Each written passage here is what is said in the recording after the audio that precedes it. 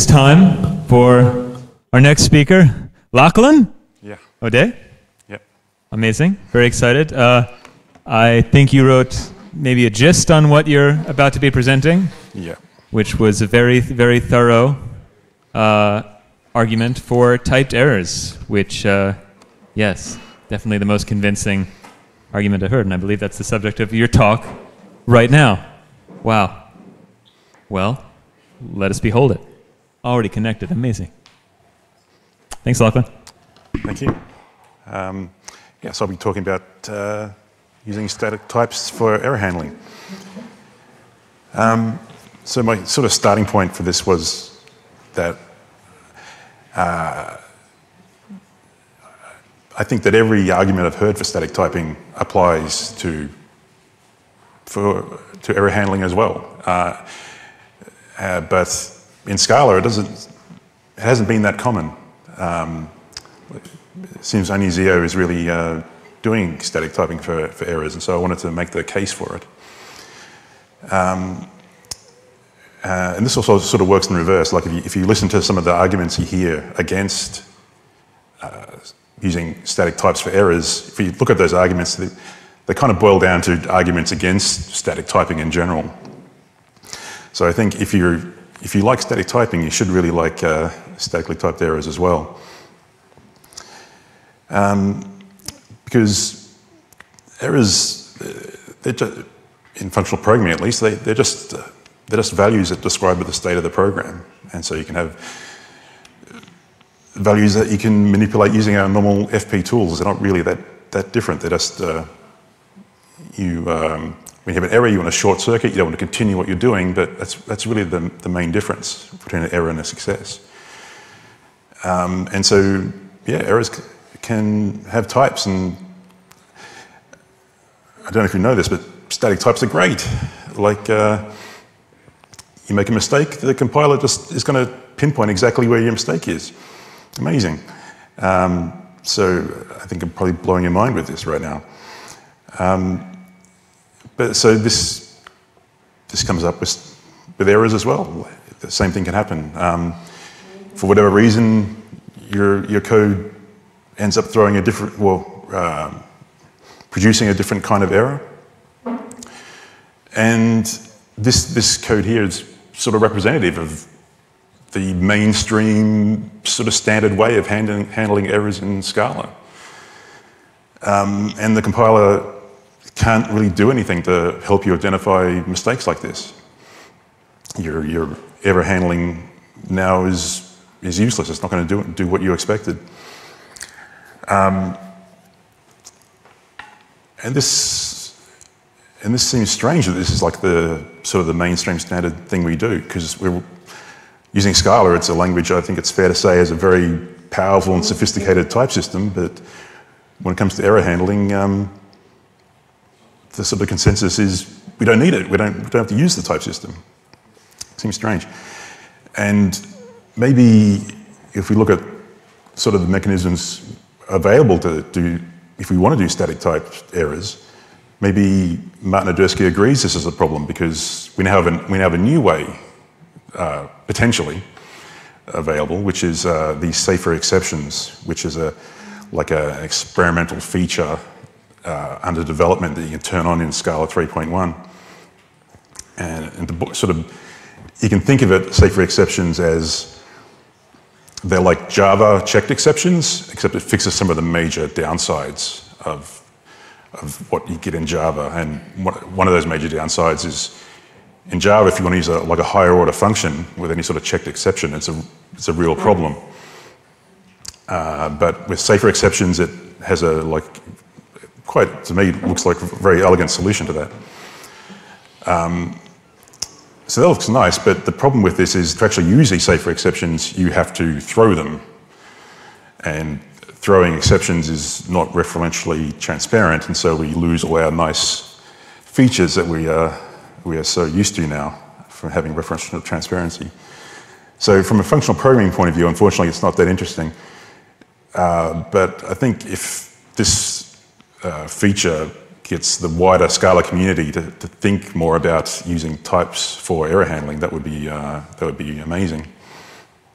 Um, so if we want to stick to our FP world, um, can't we just change our effect type? So instead of just returning successes, returns either successes or errors.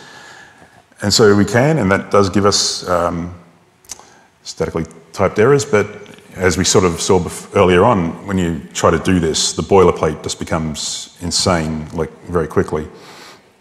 Um, and so it's not really of any practical use. But of course, we do have these wonderful things called Monad transformers, which were designed to solve exactly this problem. And so we can just take this either t, either t you know, exists in Scala, and apply it to our um, effect type. And this basically takes that boilerplate, encapsulates it, and takes care of applying it for you. You don't have to worry about it anymore. And this works. But it doesn't work in Scala as nicely as it does in Haskell. There's some downsides, um, which I'll get to. Uh, and then we have what Zio does, which I'm sort of calling the covariant bifunctor. It's just something to call it. Um, and so I think this really hits uh, the sweet spot. It, um, at least in Scala, it, it, it just it covers all the common cases in a really nice way. And so a bifunctor is just like a functor, except that instead of like a type you can map to some other type, the, it has like two cases, with, and each with a different type. And so we make one case the, the, the error type, and the other case the success type.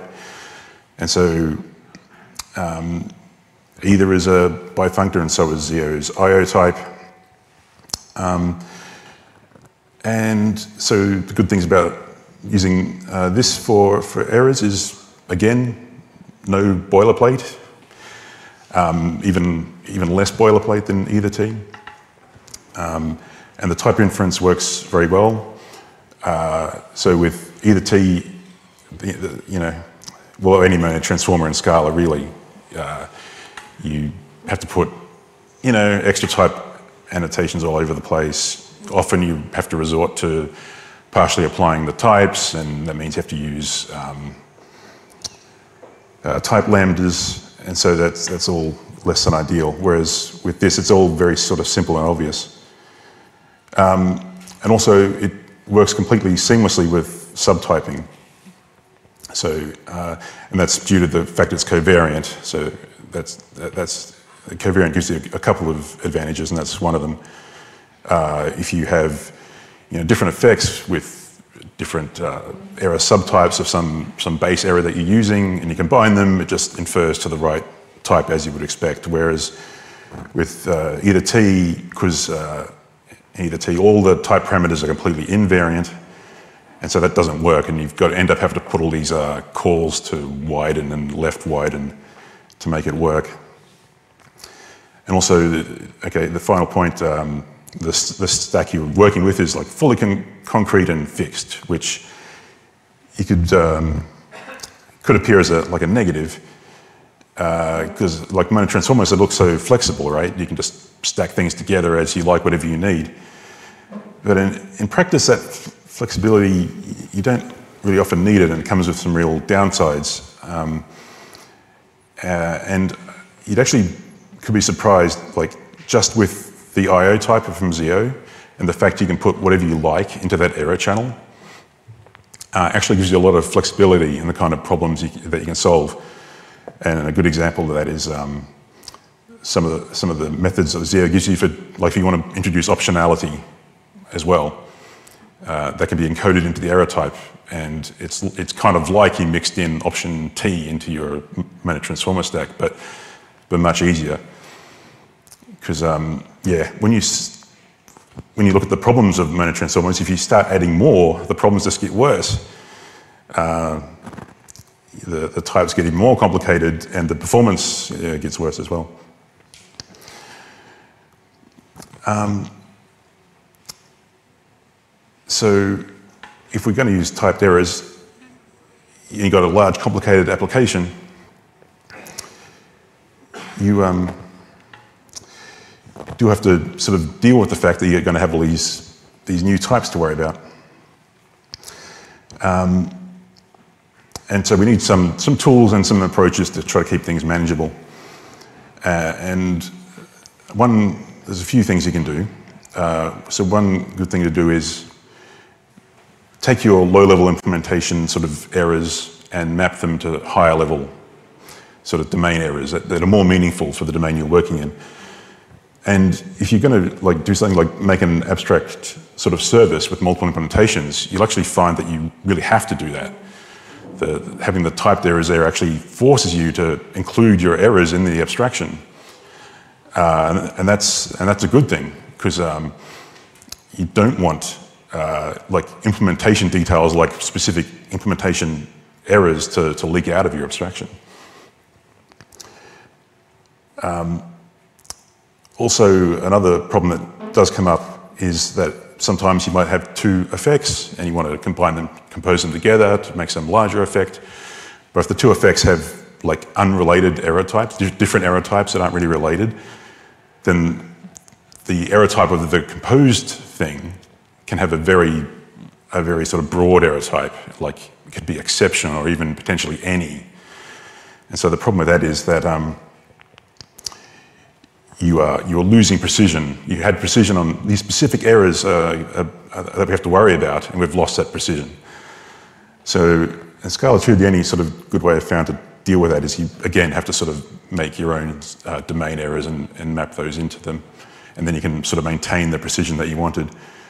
But um, in Scala 3, we have a new tool to, that helps with this, which is um, union types. And so in the case where you just want to keep that precise errors from the, from the things you're composing together, but you don't really want to go to the trouble of making you know, some custom domain error, uh, you can use union types, uh, union types and just say, uh, this composed thing can fail with you know, error one or error two or error three. And that's really cool that we have that now. Um, and the final sort of general technique is what we saw um, a bit in the, in the workshop, uh, in many contexts, you uh, have uh, error types getting, that you have to deal with, but you know that in this context that this, you can't recover from this error. There's, no, there's nothing you can do about it. And so Zio makes it very easy just to turn those into, the, into unrecoverable defects, and, and that gets it out of the type system uh, and sort of means that your recovery code doesn't have to worry about it and just simplifies your life. Um, so that's nice.